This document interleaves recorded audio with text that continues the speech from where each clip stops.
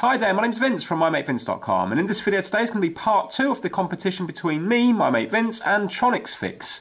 So in the first part I fixed up this Marks motorway wind up little car set thing. It was like a kind of, if you imagine, an early Scalextric sort of job.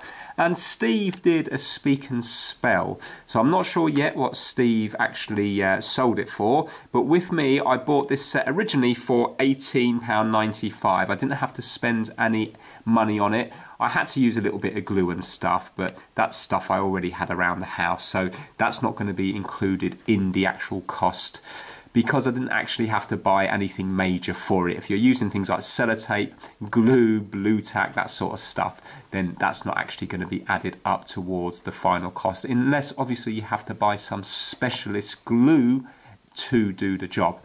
Now, I sold this in total for £21 plus 7.99 postage, so that's 28.99.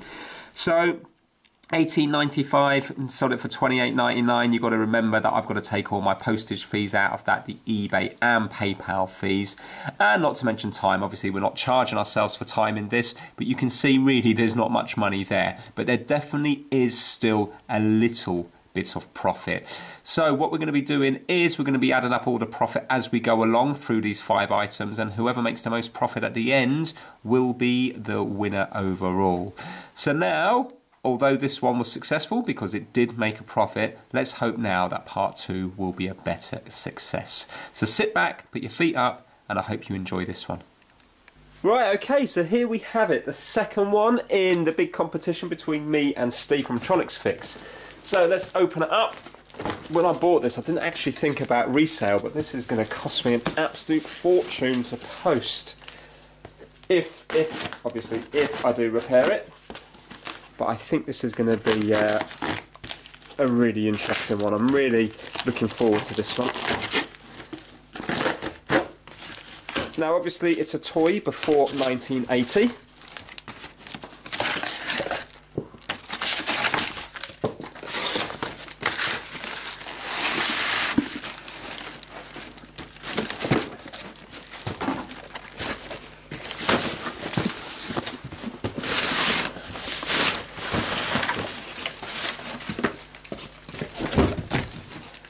might actually keep that box because if I do repair it, I can post it in the same box. Right, let's see now. I've never had one of these when I was young. They were really expensive. Mm hmm Box looks quite badly damaged. Now, you ready?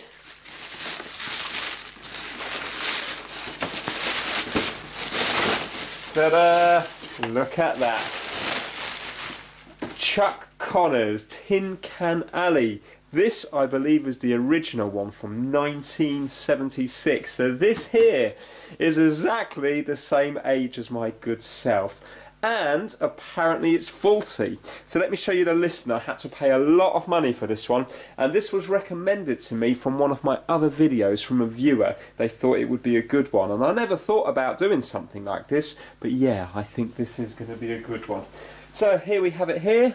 You can see it says Tin Can Alley, Game Shooting 40, Solder Scene, Spares Repair, Xmas Project NR, which I think means no return. Now, unfortunately, I had to pay £22. There was nine people bidding, so these things are quite rare now. And uh, postage was huge, which is understandable, £14.95. So in total, I had to pay £36.95. Not sure if I do get it working, if I get it working, whether there's going to be any profit on it or not. I hope there is going to be because there's not many of these for sale. So plenty of pictures and it says here, vintage, highly sought after tin can alley shooting game. This is sold as spares or repair, untested. Somebody will get this fixed, working, including Pepsi cans. Bit weird that it says untested, but then it's sort of confirming that it's not working. It says uh, some Pepsi cans may be dented, boxes tatty too. No instructions, but simple to use. Every kid wanted this, so highly desirable. Again, sold as seen in non-working condition with tatty box.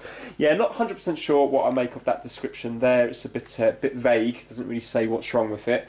But, you know, beggars can't be choosers. There was, weren't really many of these to choose from. I think this was the only faulty one.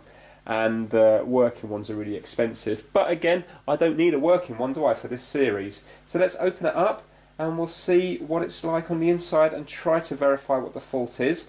Now with this I've never had one, never used one to my knowledge. I don't remember using it around any friend's house a, uh, uh, when I was a child. So, well, it said the box is tatty, but the actual cardboard part of it looks pretty looks pretty good.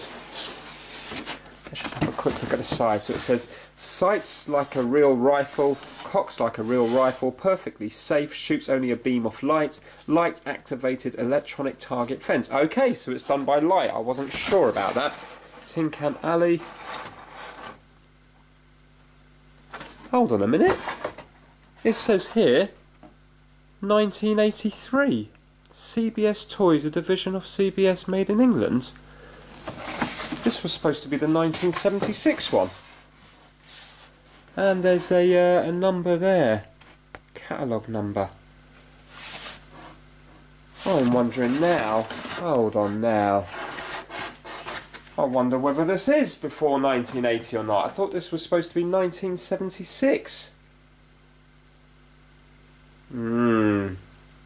Do you know what? I'm going to have to do a little bit of research on this one. So bear with me a minute. Right, okay, well, I've checked online. I mean, there's not a huge amount of information, but I've looked on eBay and these are being sold as vintage 1976. The box have the Dr. Pepper cans on them, and then the inside of them always show the Pepsi Cola cans on the UK one. So I'm not 100% sure what's going on here because you know, as far as I know, this came out in 1976. Do you know what I think it might be? Maybe this was in production for like 10 years or something like that. And then on the box, I suppose they had to update the copyright. So this set might be from 1983. But as far as I'm concerned, it's still valid for the competition because it was made, it came out in 1976. So for example, you would be able to do a Big Trak in this competition, which came out in 1979. But the one you're buying, it could be from 1982, you're not going to know, but the toy itself came out in 1979. So with this one, I'm happy. It came out before the 1980s, even though it looks like this one, according to the box, is 1983 or possibly 1984 or 1985 because we don't know when the toy was actually sold. But the thing itself was manufactured before the 1980s. So uh, I'm going to run with it. I'm sure Steve from Tronics Fix isn't going to have a problem. If it was the reverse, I wouldn't have a problem with him doing it. So uh, yeah, not not a, not a great start, but nevertheless, it's still an old toy that came out before 1980, and it's supposed to be faulty, but we don't know what the fault is. So now, uh, these are the cans and they are in remarkably good condition. I mean, this one here is dented. If I even now, I feel like I feel like I want to crush them. So, uh, if this was owned by me as a child, 100% these would have been uh, these would have been all dented. Oh, there we go. Just like that, these would have been all dented up. So now let's just find out exactly what this what this thing is. Oh, look at that, that's made out of metal there. That's quite nice. So you, basically, sorry, I've missed out a bit. Chuck Connors, this is the guy on the on the cover. He was, uh, I think he was American, American Canadian. I presume he's American. And uh, yeah, basically, he starred in a series called The Rifleman, which is basically where he was a really good shot with a rifle. And I know in one of the episodes he was like up, I think it was the first one, he was up against somebody else with like a pistol, but yet he would have won with the rifle. So he was kind of famous for his rifle. So obviously they would have paid him quite a bit of money to uh, have his uh, picture on the cover of this. Right, okay, so we're going to have to work out basically how this thing works. So it's done via a light, which I'm assuming is going to be this thing here and it looks like you've got to aim where do you aim? Oh, I know. Right, okay. So, look, there's something here. Can you see that there's some sort of little sensor in there, but obviously there's nothing there. This thing must move along this track. Maybe you have to... oh, here we go, look. Yeah, there we go. So you can move it yourself manually. So basically you need to line it up, or I, I presume it does it automatically. And then there must be some kind of sensor in here. It does look like there's some little thing in there now. I'm not too sure. I'll put batteries in it and see what it does. Uh, it says here, very bright lights, windows or lamps shining directly into the knot hole could set off the electric eye mechanism. Position fence so that the mechanism can be activated only by the beam of light from the tin, Cali, uh, tin can alley rifle. So basically what it is going to be is it's obviously done by light so I presume this is going to work better in a dark environment. Fence must be facing directly towards the person firing rifle not at an angle and rifle must be at the same height as fence so that full light beam goes through the knot hole. To preserve batteries when the game is not in use move the target mechanism to storage position. To storage position, right I suppose that must be off I don't know, just must be off. Maybe you store it to the left hand side. Haven't got a clue. And it says use uh, fresh regular batteries. Well, okay, so that all seems pretty, pretty simple enough. So obviously this thing moves along and it knows how far to advance. Looks like there's quite a bit of corrosion on the screws there. Now when it comes to the gun, it looks like we're missing the nut and bolt unless it's hiding somewhere else. So there should be a nut and bolt that goes through here. That's a little bit annoying that that's missing. But that's gonna... But that just looks... That looks incorrect, but that's the only way it fits on. Right, so I'm going to have to get some sort of bolt for there. Looks like the batteries go in this bit here. And there's a few screws to hold it together. Well, I think what we'll do to begin with is, let's see what batteries it takes. And then I can concentrate on one thing at a time. So basically that looks like it's going to be the complicated thing, the fence. This I'm thinking every time you press the trigger is just going to emit some light from here. Maybe the bulb's gone, maybe that's why it's not working. Not sure. Or maybe it's the uh, mechanism here when you press the button it's not pressing something on the inside. Right, let's move these cans away in this box because it's quite delicate.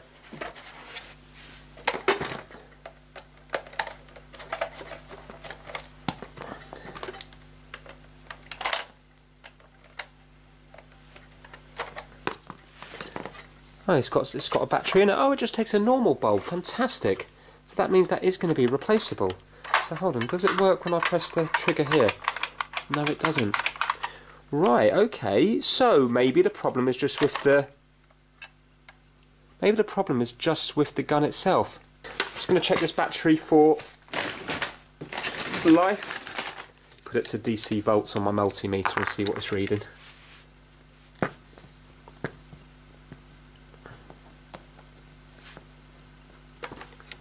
Right, 9.7 volts, so there's definitely enough voltage in there.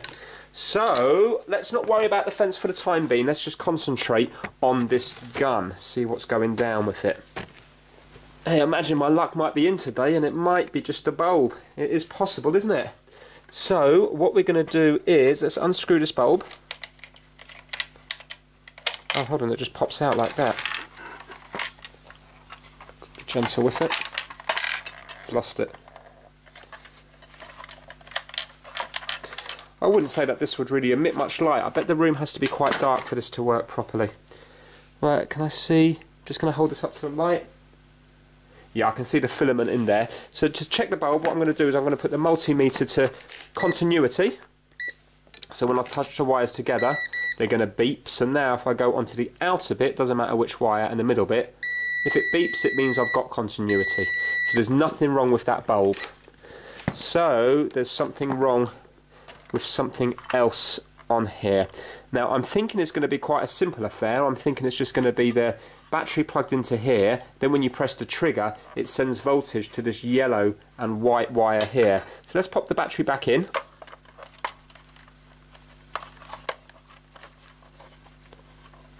Yeah, I think that's back in. And now again, DC volts.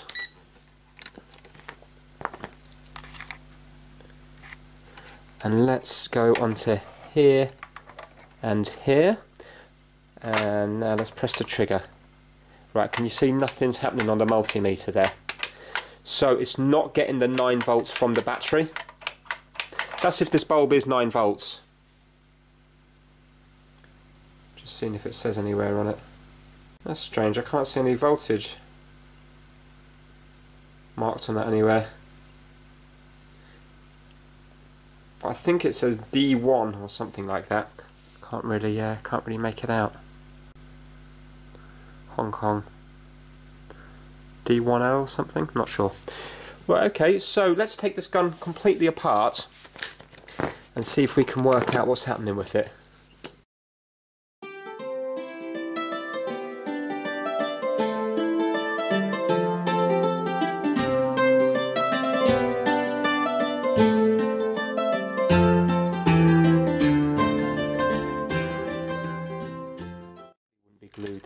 Here we go. Here we go. This is going to come off and there's... Ah, excellent. It's going to come off and it's going to reveal two more screws. Good. When does it come all the way off? I suppose it has to, doesn't it? Otherwise...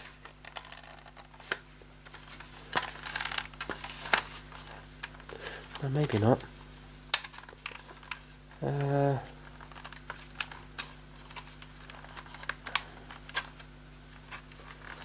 Let's undo the screws and see what happens. That doesn't want to go any more than that.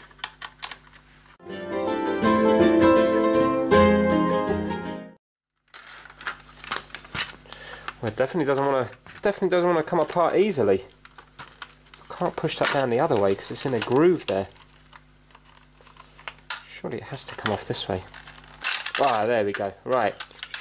Luckily, I didn't break it. Yes, it is. It's coming apart.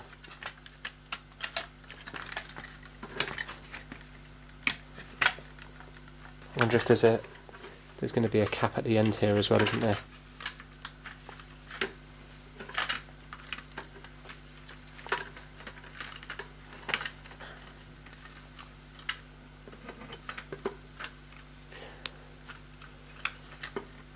And this one doesn't want to move. I wonder, can I just have a look on the inside. Ah, we've got a massive capacitor. Well, do you know what? I don't have to worry about taking that end off. I, that might even be glued. Doesn't seem to be any play in that. That might be glued into place. But, look, I can still get into here anyway. So it doesn't actually make a difference. So, we've got, when we press the trigger... Just want to make sure I know where everything goes before I start pulling it all apart. So when we press the trigger here, it's moving. What's it doing? Let's take that out. When we press the trigger, it must be moving this up here. And then that should be hitting that contact, but I bet it's not. I bet this is just all misaligned here. Looks like there's plenty of grease in it. Oh, look, the spring's come out, hasn't it? Look down here. Look, that was that was just in here like that. Well, the spring's moved now. But, look, it looks like the spring goes into this part here, I think, in here, and it wasn't, it was pointing down that way. So if we were to put that in, the spring into this bit here, off the plastic, let's zoom right in. It's a bit awkward because I'm having to hold the gun open, but let's take it all out.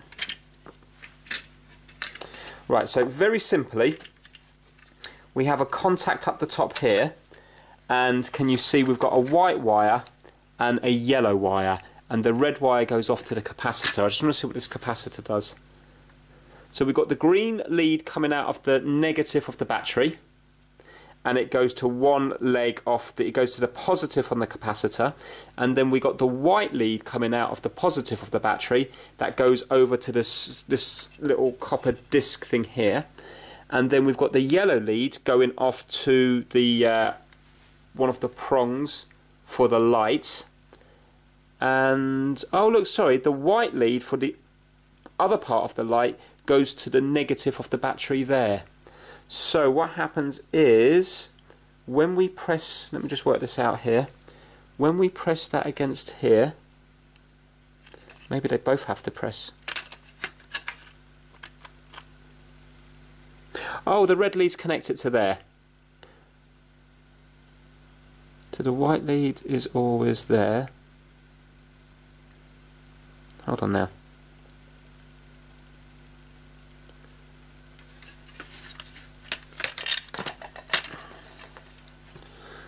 Zoom out a bit. I should, I should have got this sus by now. So we have the uh, the white lead, the positive, goes to this one here. So this is going to be positive. And then when this one touches it, it means the red's touching it, which goes through the capacitor, which goes to the negative. And then, so when this hits against it, it must touch both of them up at the same time.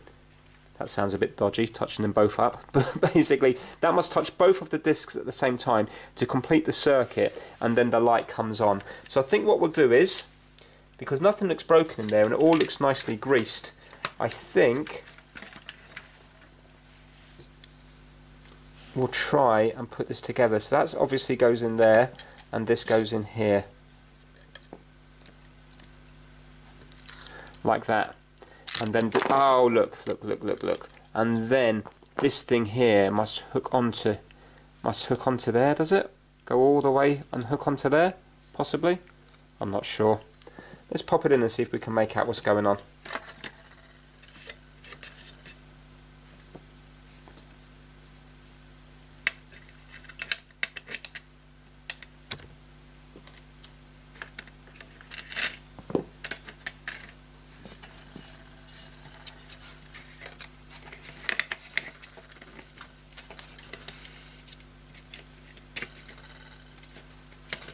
Uh, so when you cock it back, when you whoa whoa whoa right okay yeah I think I've got it. When you cock it back, it hits this one up. Then when you fire it, it must release. It must hit the uh, must hit the uh, contact against the wire that goes off to the yellow one.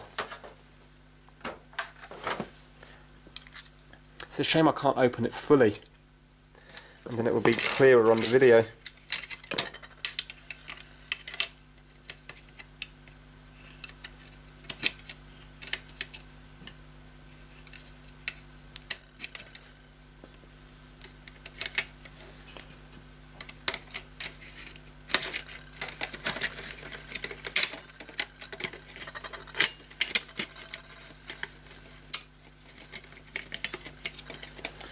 So that's going to go like that. I then have to put the other, the metal thing in together because that's all going to be part of it as well. Right, I'm just going to get kitchen towel because I'm getting all the grease on my hands. Right, it's nice that this is all made out of metal.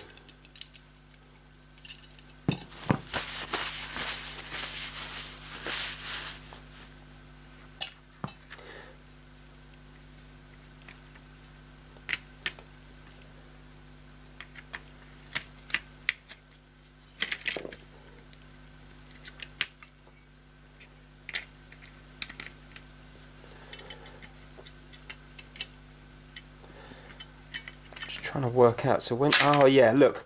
So basically, do you remember I said about that plastic uh, latching onto that bit? So when you cock it that way, it's going to move this right the way back so it latches into place.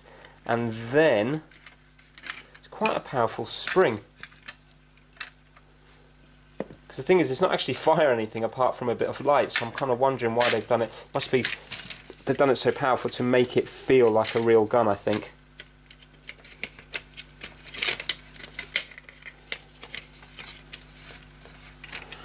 Right, so this goes here. And then when you cock it back, it moves this plastic thing back so that the latch at the end here latches onto there. Let me get the camera off the tripod and I can try and show you.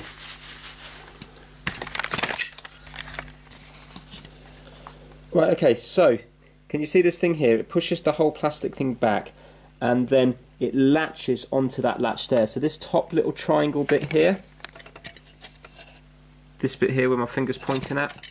Sorry I can't do it with two hands because I've got this thing sort of wedged open. And that latches on to that bit of the latch there. And then so the whole thing's ready to fire. And then when you fire, you're going to press the trigger, which is going to push this bit forward. And it must then move ever slightly. So what happens is that then look, it moves up ever so slightly like that. Which then releases it from the uh, releases it from that thing and as this flies forward it makes contact with that red wire there makes contact with the yellow disc. I think that's how it works.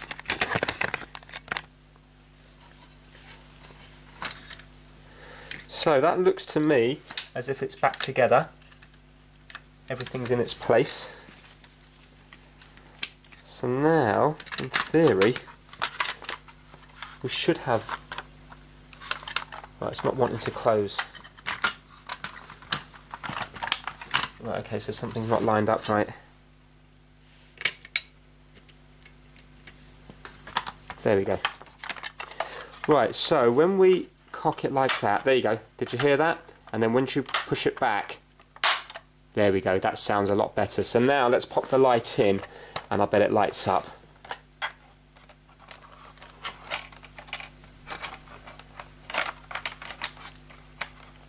Lit up for a second there I think. Right, so let's zoom out. So we take it out, cock it, so that's now got the spring compressed, put it back in, and now fire. And did you see the flash there? Oh, lovely. In, fire. And would the capacitor be there so it gives it all the energy straight away just in a quick flash? Would that be why it needs a capacitor rather than just quickly tapping against a battery? Maybe it needs to be more instant. Maybe that's what the capacitor does. It charges it up so it's ready to just release all those 9 volts. Or, I don't even know how much volts this is. Maybe it's more than 9 volts. It releases it all within like, uh, you know, half a second or whatever it is. Right, brilliant. So now the gun appears to be working. So what I'll have to do now is see if the fence is working. But I'm happy that I understand this. So I'm going to put this back together. What we do need to find is a nut and bolt to go through here. I'm not going to have them in my house, but I might be able to get one from my dad's shed or possibly maybe I could buy one, you know, buy a pack of them or something. Uh, right, okay, I'm going to put this all back together. Again, to me, it seems really nicely made. That that thing's made out of metal, because that's the thing that's going to get the most the most strain. And also, it gives a nice bit of weight to this. I've got a feeling my son's going to like this because it kind of feels real.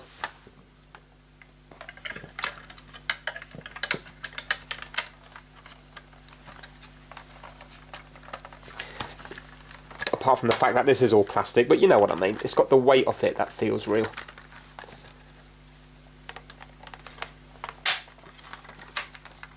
Okay, that's there.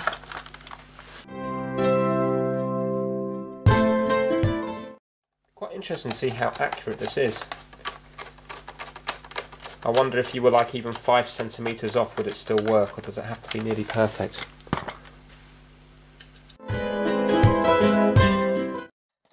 Might as well leave that battery in it. In fact, I will need to, there, there was a tiny bit of corrosion on one of those uh, battery things there, so I will need to sort that out. Very closely, you can see it's a bit blue on top and just in the middle as well, so I'll just have to use a bit of IPA cleaner on that later on. Display that one there. So take it out, cock it, put it back and then we should see the light light up. There we go. Brilliant. Lovely. Right, okay, so that's that sorted. Now let's have a look at this fence thing here, which I think is going to be a lot more complicated. See what's going on with this. Find out what monster sized batteries this thing takes. Right, pull and lift out to open. Pull.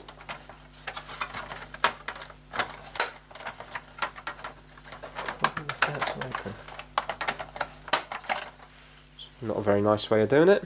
Definitely got a bit of corrosion in here. Well, not really corrosion, just kind of like, just feels a bit greasy. Yeah, there's a bit of corrosion on that one there.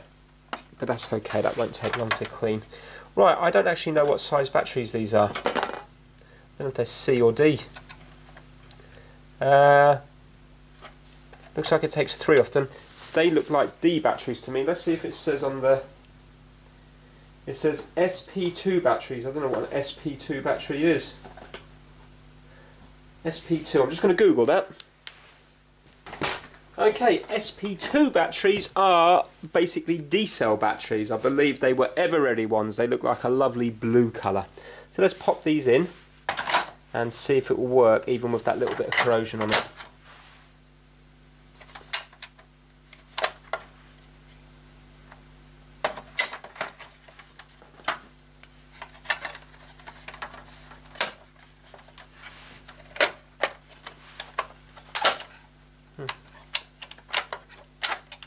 Sounds like it wants to do something. Right, let's uh, turn it, let's move it along and see what it does if I turn it on here.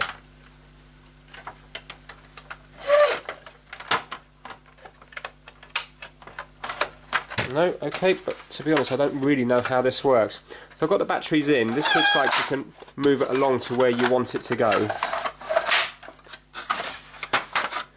And it's got this kind of ski ramp thing here where it falls into place. So, oh, that's what knocks the Pepsi cans off. There you go, look, did you see? Hold on, watch this, watch this, watch this. Right, so as you're going along, it pushes the spring down and then it will release it and a white thing. So watch this hole here now. Watch a white thing pop up. Ready? Ready? Hold on. Oh, why didn't it do it? Oh, it it that one. There you go, did you see there? So, and now watch this one here. Uh, it's hard to see, but basically it's, it, there's a white thing that comes flying up.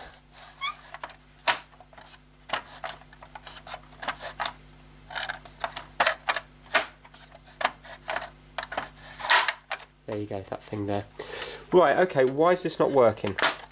Or maybe maybe you just start shooting it and it just starts starts working. Or have I got it? It says off off that way. So this must be on this way. Let's just point the gun straight at this first one and see what happens. It went there for a second didn't it? Let's see what happens now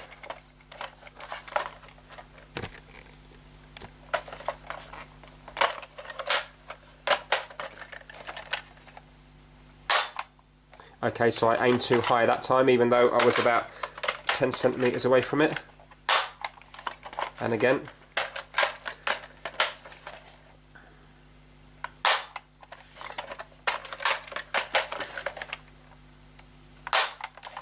I wonder how sensitive it is. Right, that was certainly on it and it didn't do anything. That was right on it. Let me put the switch to the other side.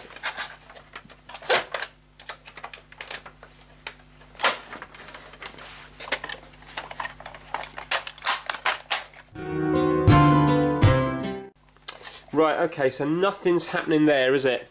So it doesn't look like it's just a gun. Again, I could be using it wrong, but I don't think I am.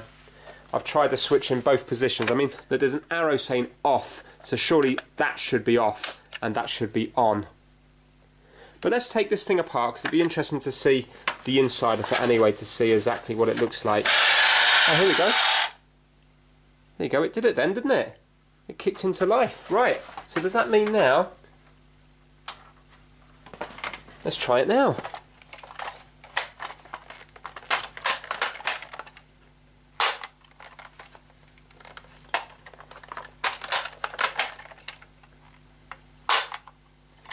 No. There we go. Yes, and it kicked, but why is it not going further? It didn't move on to the next one, did it? But it definitely kicked. Definitely kicked. Right, okay. Uh, so I wonder, how do you get this thing started? I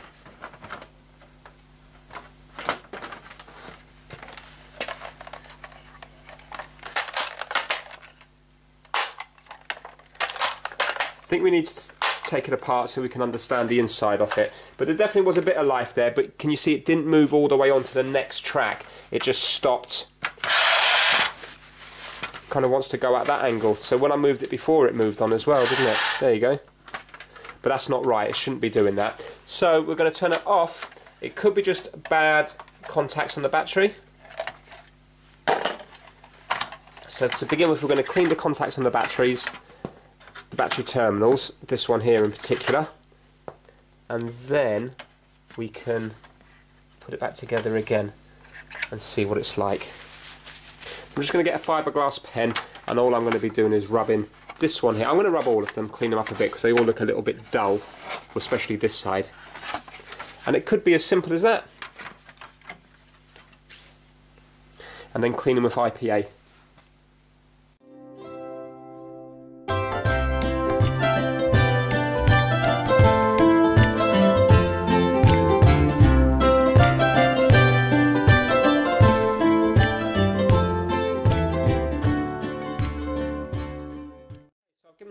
Now I'm going to clean them with IPA.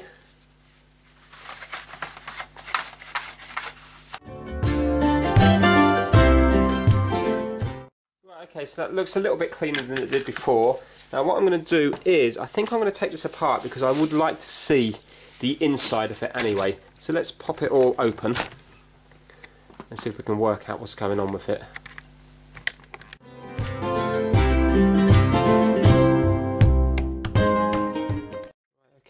So that's just a simple on and off switch there which is moving this thing against a contact down below.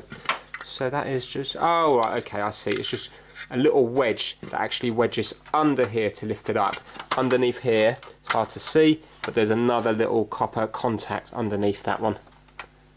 Underneath that one there, so that might need a clean. So we have the motor, the resistor here. What's this thing here? Is this thing?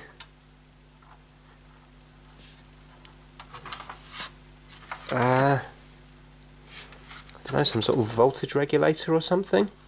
I want to know where the actual site is because I want to see what that looks like. So let's take this apart further. I think we're going to have to take off this big track here. See if we can slide it along, there should be another one, here we go. Oh look, it's uh, quite broken here, isn't it? Oh no, I hope that's not going to cause a problem. Looks like it's been sat there for so long that there's problems, or maybe the battery leaked right onto this bit here off the track. You can see just here. I don't know if you can see that because it's so white, but it kind of looks. There you go. Looks like it's been eaten away a little bit.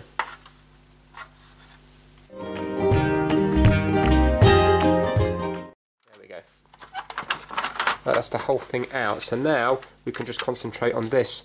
Yeah you can see there. I bet you the batteries caused that by leaking onto it. It's really oh, it's just eating away. I better be careful. I wonder how soft that actually is. No not too bad. It's just on the surface. Right I should be able to scrape that away then.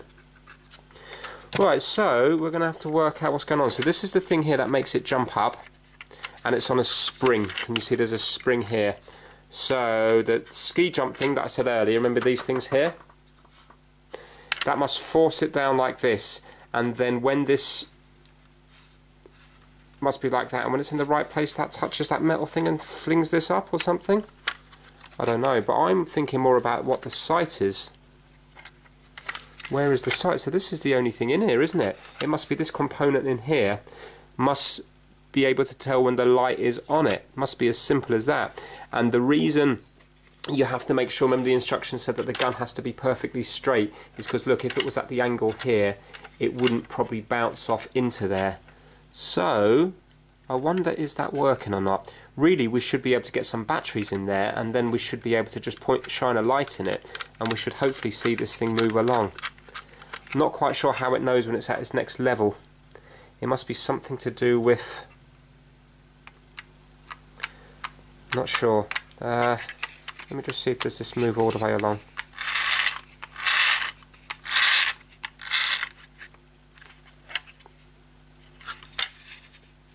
So this releases it like that. Then allows it to go forward and back. Uh,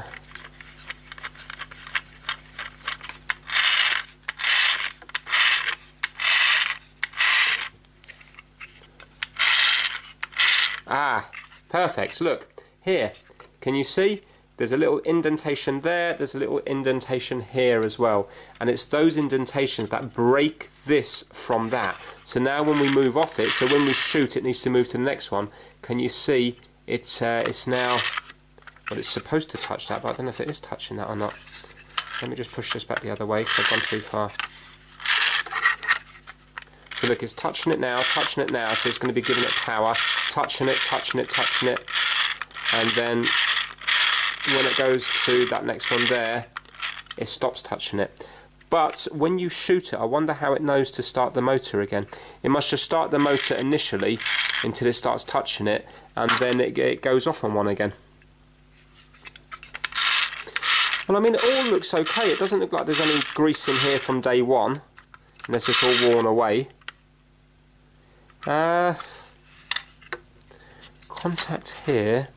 So this is the this is simply the on and off switch here. This is the thing I was talking about. So when there's batteries in, we should have power going up that yellow one. The yellow one goes to this here. That in turn goes to the battery here. But then it has to looks like there's some kind of diode and a resistor just all sort of soldered together. Is that a diode I wonder with a resistor on it? And this thing must be the thing that there's another resistor there. I don't know if it's some sort of voltage regulator or something. Uh, one, two, three legs. Could it be a transistor? I don't know. But then it goes off with these two wires to this thing here. So when that flashes, this must put a pulse through to here, like a bit of voltage or something through to here to let this know that it's flashed and then it joins these two wires together to move the motor on. That must be something along those lines. I've probably got it completely wrong.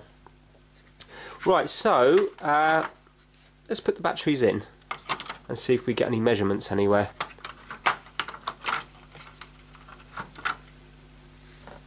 See, if that kind of light thing that detects light's faulty, then that's going to be quite hard for me. But maybe there's other ones out there. Maybe there's a forum out there that says, you know, when these things go wrong. But when I looked up originally, there wasn't a huge amount of information on this. So that should be on right now because th those things are touching. So we should have voltage around the place. Let's just make sure our battery terminals are okay.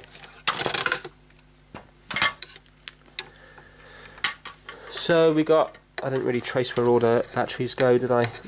Let's have a look on this side a second. Contacts, I should really have a look, see what's happening. So this one goes, that's the on and off, and from there it travels up on a yellow wire, I get that. Then this side here, what does this side do? Don't understand. Oh, okay, so this side doesn't do anything, it just joins the wires together. This one here is then in contact with this. So when this touches this, it should make the motor work. Ah, right, okay, so this should make the motor work all the time, I think. But then when it's in that little groove and this thing separates, then it must be the firing off the shot that makes the motor work until this thing comes back up here again. Right, I think that's what it is. Whoa.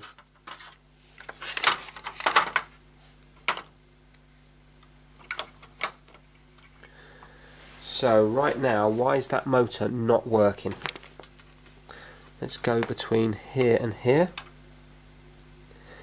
About 1.5 volts. Go between here and here. 1.5. Now surely between here and here it should be more than 1.5. Oh it is. Yeah, 3 volts. 3.1.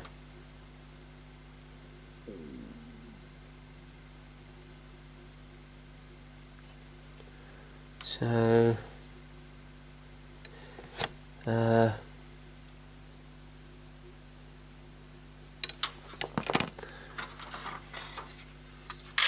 so here we go. So what's happening is, this thing here is playing up, I think, look. Oh, but then it keeps going.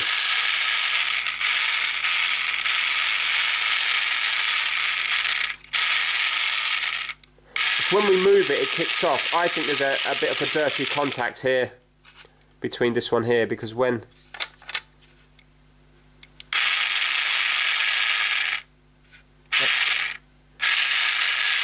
Or is, it the, is, is light getting in here? Is that the problem?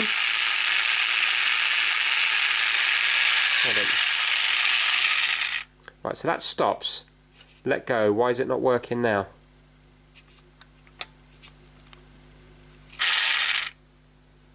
But now if we shine light into here, it should work. Right, okay. And then when it goes to there... Right, let's work this out a minute. So, right now, it's in the position where it's in the notch. A bit of light comes in, which moves it on, and then that will move up to there, and then the light gets covered, and then that stops. That's exactly how it works. So remember now, I'm getting light because this room is light. So right now, this wouldn't be in the notch, but as soon as I take my finger off here, the motor's going to start. Then I have to put my, because look, if I just do this, it's going to go, but then when I stop that, it's going to stop. No, it's not. So I've got to do I've got to do that. So right, okay, that's how it is normally. Annex notch, shot fire uh, happens, goes off, that goes in there, gets covered up, and then next notch, and then shot, that gets up, covered up. That's it, isn't it? Hope you hope you can see what I'm doing. I have to angle it this way because I need the light coming in from the window. So fire, up, cover, next notch, fire, up, cover, next notch. Yeah. So it should be working. I just need to clean it. I just need to clean it up a little bit, I think. Clean it up. I'm going to put a tiny little bit of grease on here and here, just a tiny little bit. So I'm going to clean up the contact between here and here, and also I think I'm going to do the on and off switch as well. Make sure that that's nice and clean under there. But apart from that, I don't think I need to do anything else.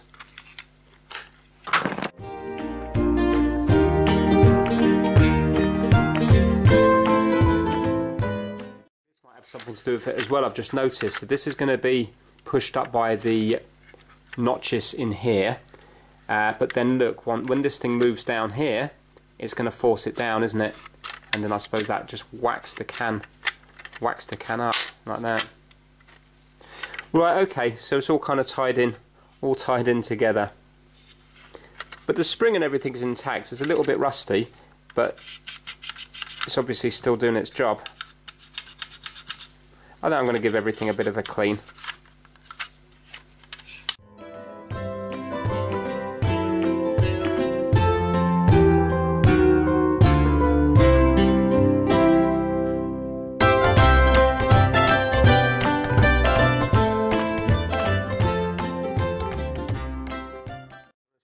This back so it's nice and hard again.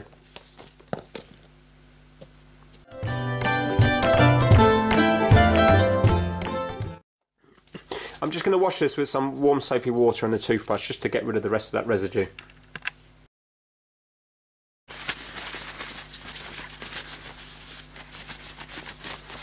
Right, thinking about it, I'm not going to put grease on it because otherwise the grease is going to end up transferring onto here and then dirt and stuff's going to go on it. It's not something that moves particularly fast it sounds like it's going to be noisy anyway. A lot of the old toys are noisy, so uh, it doesn't look to me as if that was ever packed with grease. Otherwise, I might end up causing problems. It might end up flipping up into there or something like that, and then blocking up that thing that detects the light.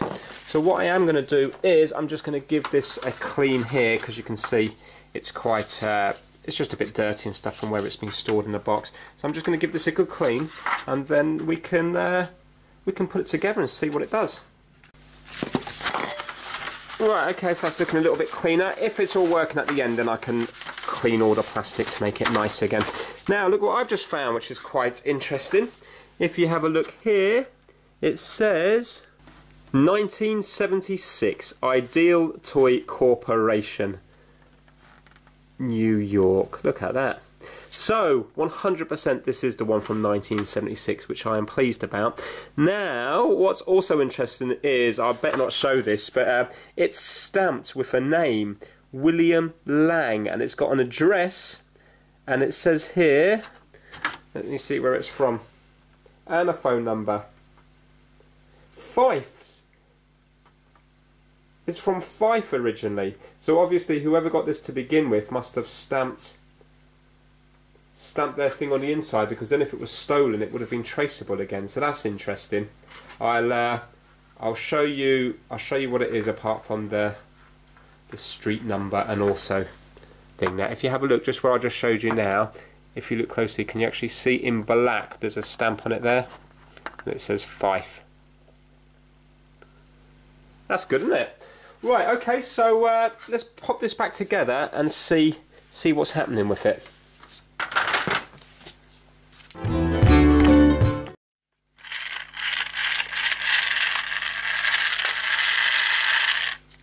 you can see there that when that is in there it touches that oh no it doesn't touch it maybe that's the problem maybe it has to touch it okay maybe I need to bend that up more because when it goes in here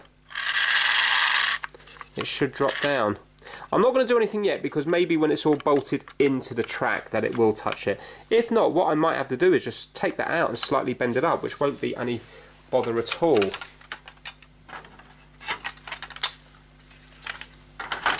So if you have a look, there's five holes here. One, two, three, four, five, and we do get five Pepsi cans as well. Now I'm thinking it must have been Pepsi for the UK because maybe, maybe we didn't have Dr Pepper back then. I'm not sure. I definitely remember having Dr Pepper years ago, but maybe it was after 1976. For me it would have been anyway because uh, obviously I wouldn't have been having it when I was a baby.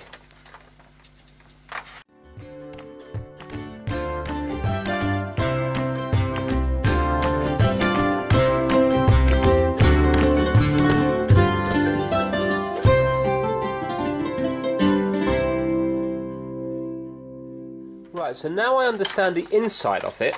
In theory, when we move this, it should kick in immediately because remember, it's not on one of these things. The only time it shouldn't work is when it's in one of these divot things here, in one of these little uh, bits that go in, yeah? There and there. So, if we were to start it, for example, here, it should then move on to the next one, to my knowledge anyway. That's what I think. So let's pop the batteries in. Let's see what happens.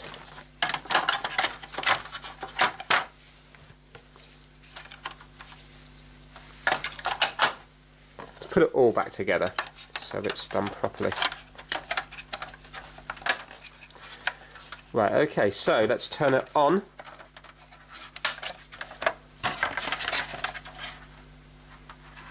So now it should, when we move this here, well let's actually turn it off a second. Let's move it back to this side. This is where it starts. Let's turn it on.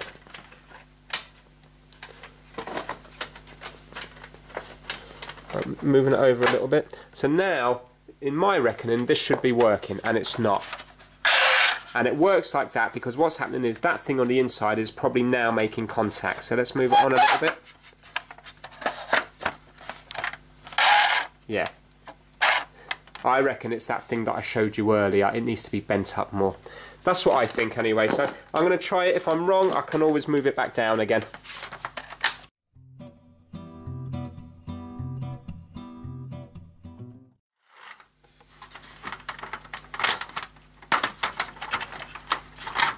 Right, so very simply what we're going to do is we're going to take this out, I'm going to bend it up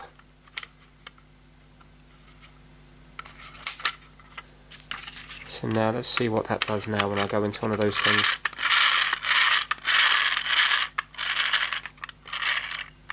No, so I've bent that too much.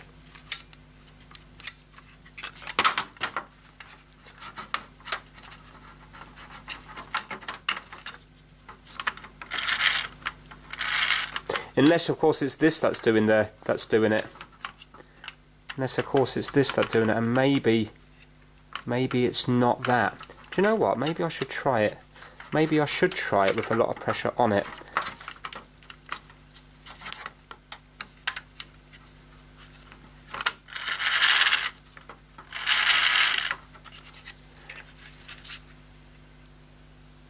Maybe I should try it like that to begin with because I've bent that up so it's in permanent contact apart from when this thing moves it down. Yeah? Maybe it's this that controls it and not these tiny little things here. I don't know. We'll give it a go.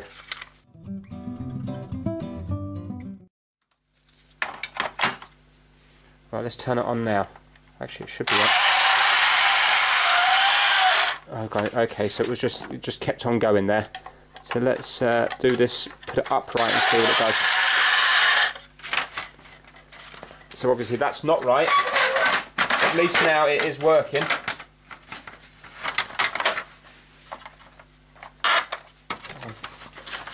Tried to hold the track in place. You're probably not getting this on the camera. Okay. Yes, that's it. And then when the next fire goes off, it will move along a bit, and then should move on to the next one. So if I just move it a small bit now. Right, so it missed, it definitely missed one of them out, but maybe that's because this is all loose. Let's see if it will do the last one. Yes, it did, didn't it? So, I think I think we might have it. Let's pop, pop it back together.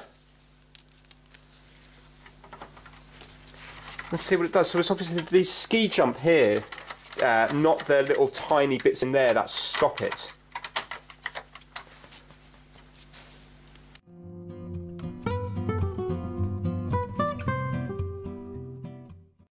Okay, so I'm going to move it all the way over this side. And now we're going to turn it on and use the gun and see if it does actually work. Right, so that's stopped there, which is good. Now let's see what happens. So, bring this down, cock it, try to get our aim. Nope. Yes! And I'm pretty sure it flipped up there as well kick the can up. Too high. Fantastic! It appears to be working. Now, I don't know if it's kicking the cans yet. You know, let's get a can. Right, let's balance the cans here. Let's see if it is strong enough to knock it off. Yay! And it takes about a second. This is like a a split second delay before it does kick it off. Which I suppose is, well actually I suppose it would be nearly instant, but it's kind of nice because then it feels like it is actually firing it. No. And it looks like you have to be very accurate. Ah, that's brilliant. And this one here. What a nice fix. And I haven't had to spend... Whoa, that was a strong one. I haven't had to spend any money on it. And then what you would do is you would reload it back up to the beginning again. Like that. Brilliant. So it does appear to be working fine. I'm going to turn it off for the time being. So what I have to do now is I'm going to give it all a clean because there's a few sort of uh, scrapes and stuff on it. I've got to be careful because I want to keep this sticker down here. And then I'm going to have to find a bolt to go through here so I can put this on. It's a shame because in the packaging to make it smaller they didn't have this on it and that's the reason that this particular bolt is missing. So I'm gonna I'm gonna see I'm gonna have a look just in case I have got one somewhere or other but if not I'm gonna have to buy myself one. Uh, but yeah, what a what a lovely toy, and I can see why it would have been very expensive at the time. I need to look into the price when it was new and compare that to you know what that's worth what that's worth nowadays, but I bet you that this toy probably would have been one of those toys that would have cost, I reckon this might have been an equivalent of a, a hundred pound toy if I'm honest with you. I think this would be I think this would have been expensive back in the day. Maybe even maybe possibly even a little bit more. Right, okay, so uh, yeah, I'm just going to be cleaning it. There's no point in me showing you doing that. All I'm going to do is be getting a wet wipe and then kitchen towels and giving it all a rub over. And then what we'll do is I'll set this up in the kitchen with the lights off to make it a bit better. But even now, in this light here, you've seen it working. And I think uh, when my son comes home from school, we'll have a game with this.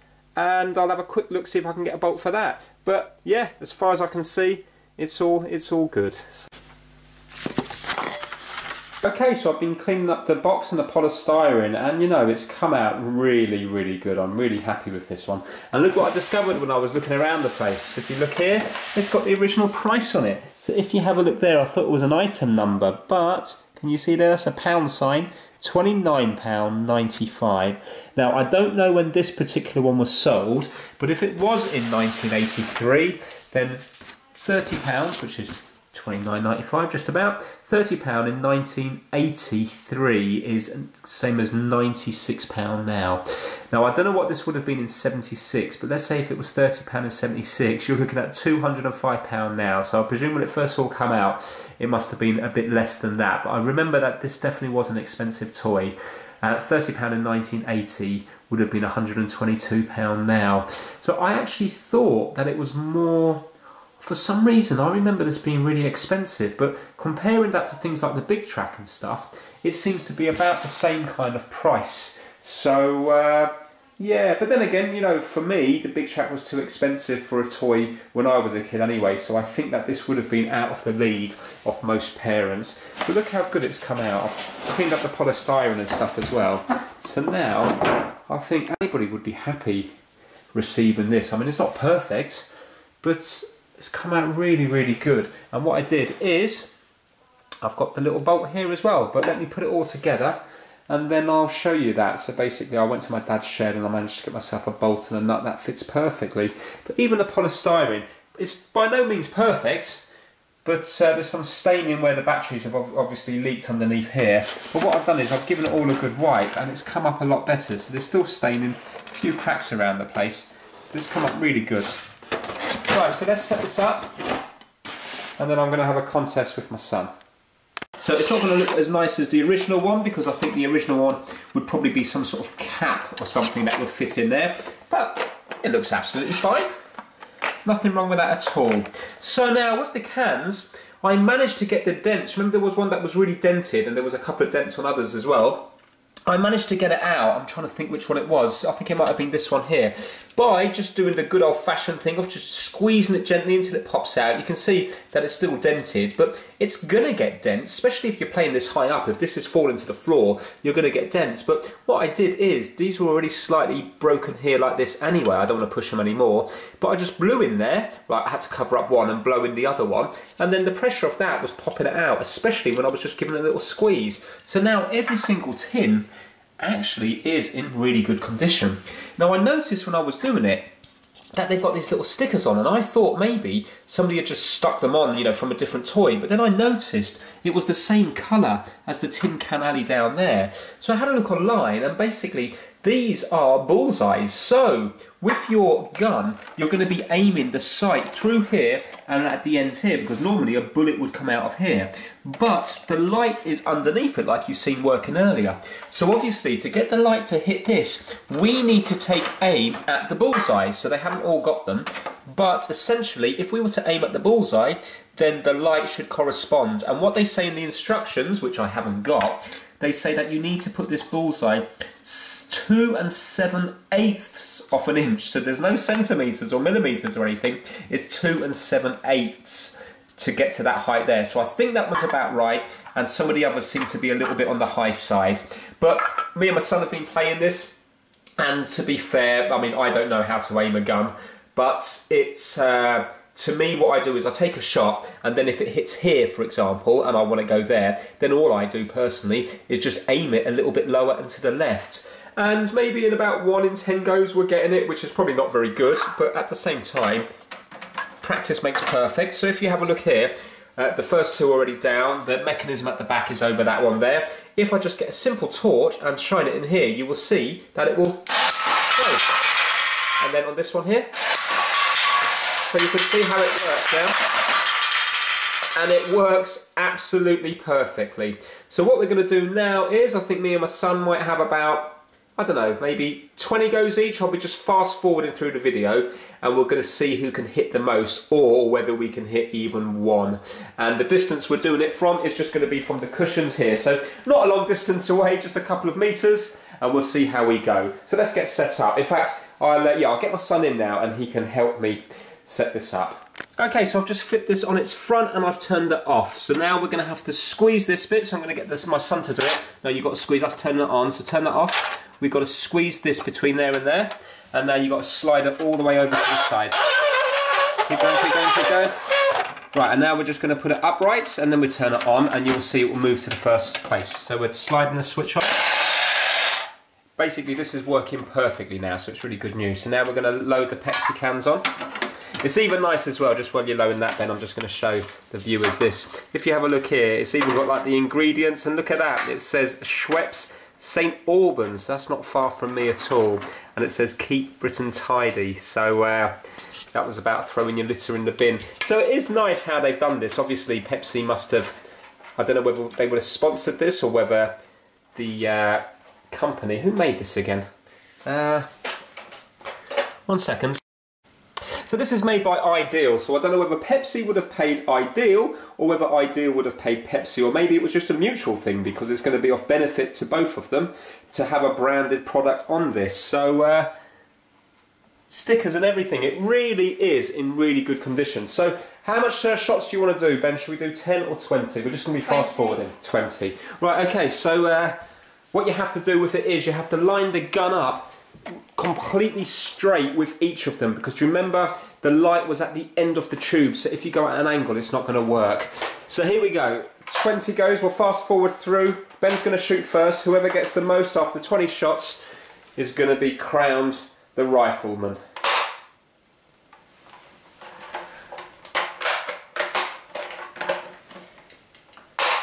Well, very close. Now just to show you what it's like with the lights off, you will see the light shine up more now. There you go, hopefully you can see that. I'll do one more with the light off then. Okay, you can take those two shots again because it was too dark to see. Right, so I'm just going to fast forward through this now.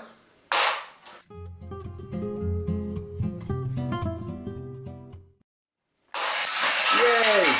That's one down. It makes the right racket as well when it's uh, when you get one. Very close. What number? What number is this? Have you been keeping count? Uh, no. I haven't either. Let's say that was. Let's say that was number. This can be your. Should we say ninth shot? You've definitely had about Yeah. nine, haven't you? Yeah. Okay. This this can be your ninth. Oh wow! Oh look at that! Oh what? Oh no! You got. Was that your tenth? So you got nine to go. Oh, what is going on? You won't even need all 20 shots. Oh, luck's run out. Is it luck or skill? Which one is it? Skill. You reckon? Oh, wow. Right, so you did that all. I wasn't counting, but I think you did that in about 15 shots. So now it's my turn. Well, we're going to load it up again, and let's see, uh, let's see how I do.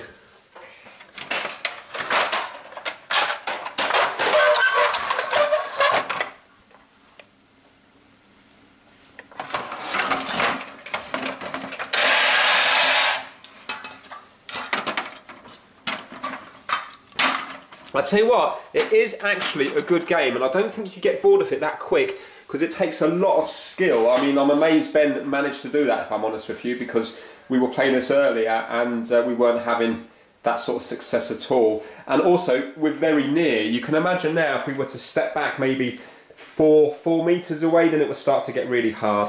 Right, Ben, if you could film me. Way too low. Right, so if you look, you do that and listen to the click, and it clicks into place, and now it's ready to be fired. So all that's doing is pushing the spring back. And remember earlier on I was confused about the spring. Well, that's because it gives you a nice feeling when you press it. It does obviously doesn't feel like firing a gun, but it feels nice and strong.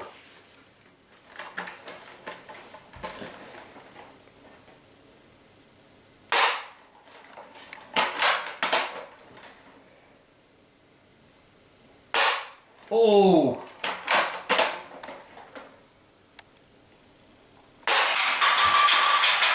oh! Oh, one down, four to go. Oh,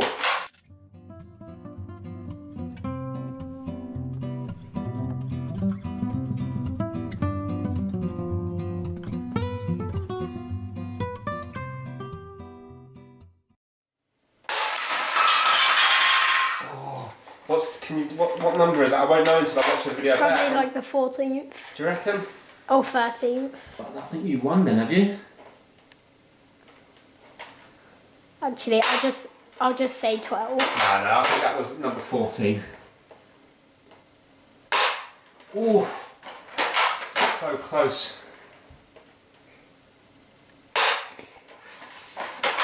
Having to aim a little bit to the left hand side. Oh 18? yeah. I think this is my 18th one, is it? Mm, I think this is the 19th. Oh, oh, You can either get this one. one, oh. Last one last shot and last one. Ah, Oh, no. yay! Right, one for luck. One for luck. Ah. Can I have one more go because how fun it is? Yeah, okay. On. You try and get the last one. Okay.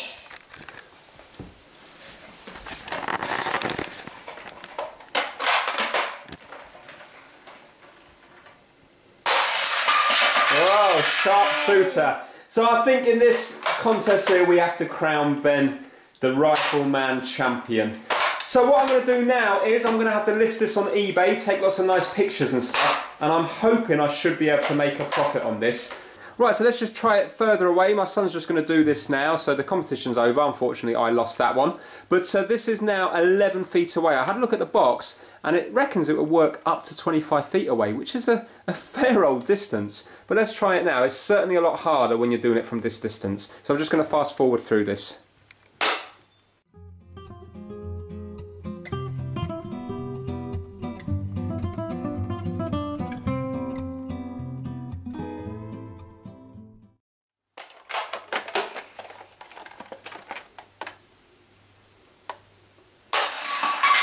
Yay, there we go. Sharpshooter does it again. The rifleman, Ben.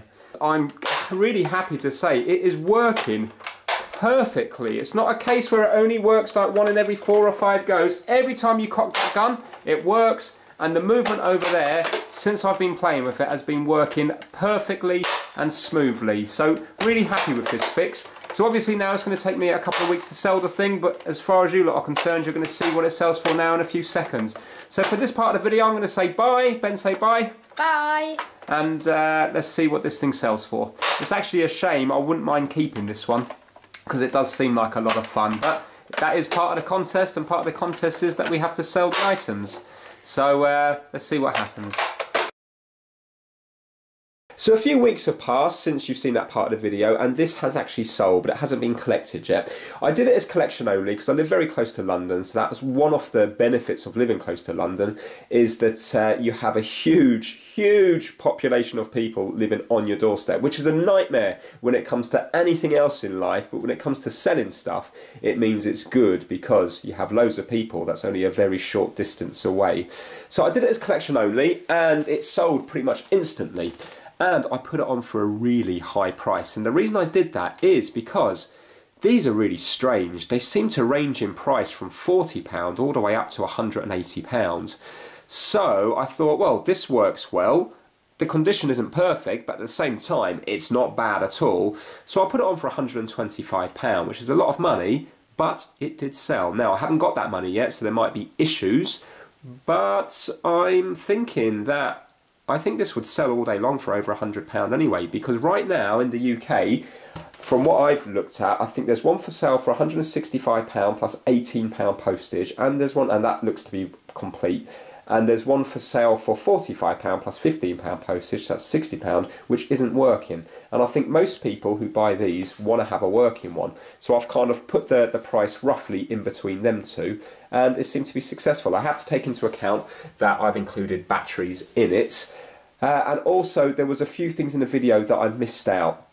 So one of them was, and I included this in the listing, one of them was the fact that I think there should be a sight up here. Looking at the other ones on eBay, not all of them, but well, one at least, I've definitely seen some kind of sight that goes on this top bit here.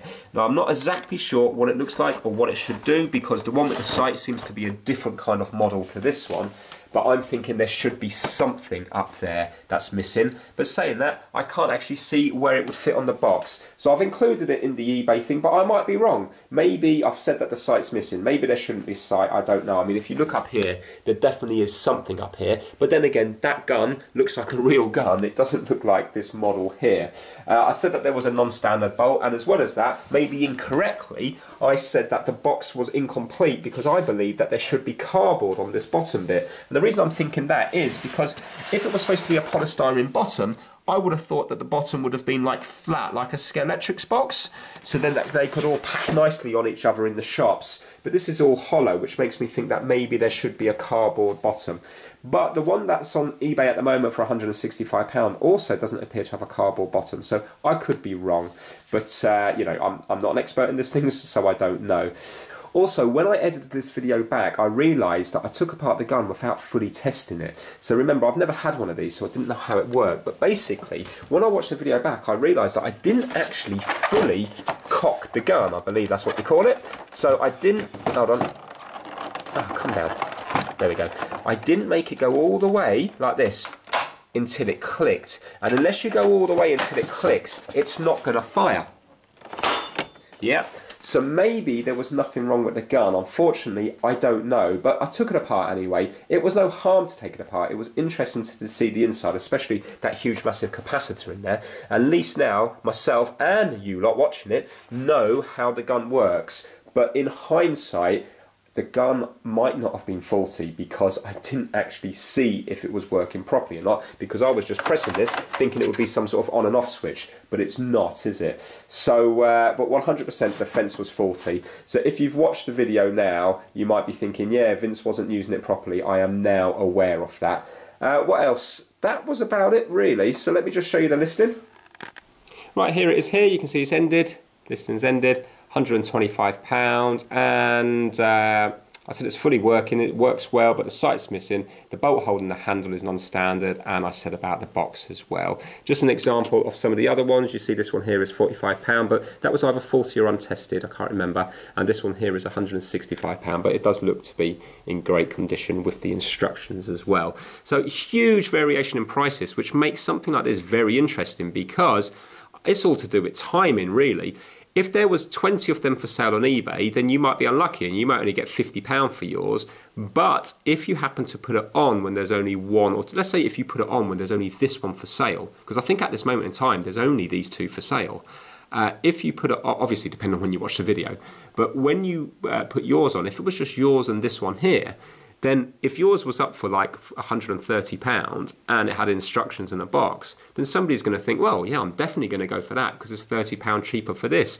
But then another time a year you might get one with instructions in a box looking great for 80 pound. It just depends on how many people are selling it at that time. So when somebody says how much is something worth? the honest answer is however much somebody is willing to pay for it at that particular moment in time because in three weeks' time, there might be 10 of these on eBay. And obviously, the price is going to be much, it's going to be much more competition. So the price is going to be right down because there might not be 10 people looking to buy. But then, two months after that, there could be 10 people looking to buy, and there might only be two of these on eBay, in which case, then the price is going to be much higher, isn't it? So, uh, yeah, very interesting one, this one. And out of all of them, I think this is one of those ones where possibly you could make a nice bit of money because it's rare enough that there's not many of them for sale and the price seems to be all over the place. So very interesting one. So hopefully you enjoyed this video. Apologies for the length of it. If you did, please give it a thumbs up and please subscribe for the rest of this series to me and also TronicsFix as well. Take care. Bye now.